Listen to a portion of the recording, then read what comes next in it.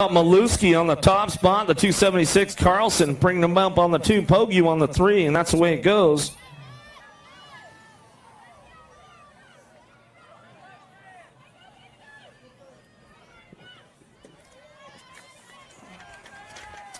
Six-year-old novice riders main motor number 48, Bowden Collins.